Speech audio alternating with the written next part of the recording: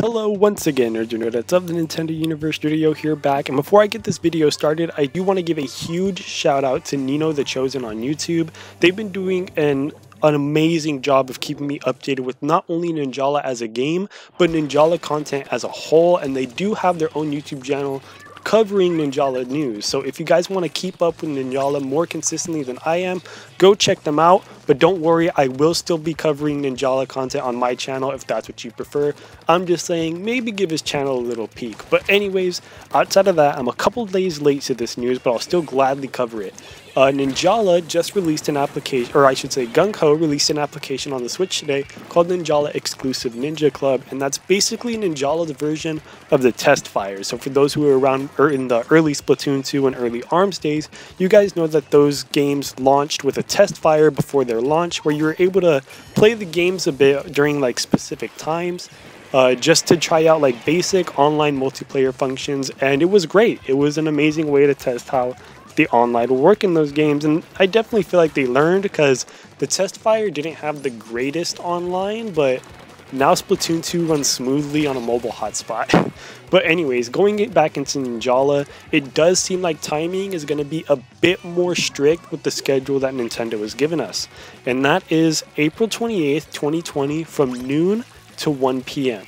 Then we have another test fire schedule at April 28th, later that day, from 9 to 10 p.m. And then we have one more, April 29th, 2020, from 4 a.m. to 5 a.m.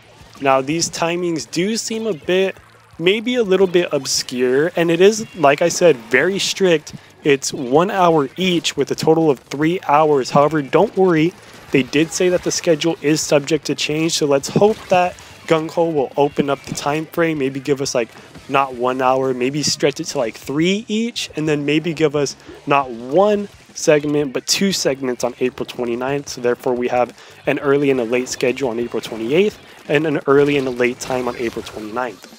Um, and they do just say that the app will just feature um, basic online battles that we'll get to play. I'm not sure if we'll be having both team and uh, battle royale, but I assume we're just going to be having Battle Royale. And they do also say to keep note that you won't be able to transfer any save data from the demo to the full version of the game. There are a few games that did this, and Ninjala is just specifying, hey, it's not going to be one of those games, which is a bit sad, but I mean, I'll take what I can get, honestly.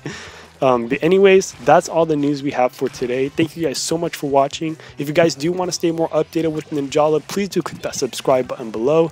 Uh, tell me what you guys think of this Ninjala um, this Ninjala test fire that's coming out. I'm going to do my best to try and stream it next week. Usually I do try to keep my streams exclusive to the weekend, but I'm going to go ahead and just make it a midweek stream just to see what the game is like and how it's changed from the E3 demo that I played like two years back. Um, I think it'll be fun. Uh, but anyways, thank you guys so much for watching. Subscribe if you haven't already, and I'll see you in the next video. Until then, Nerdieo is out.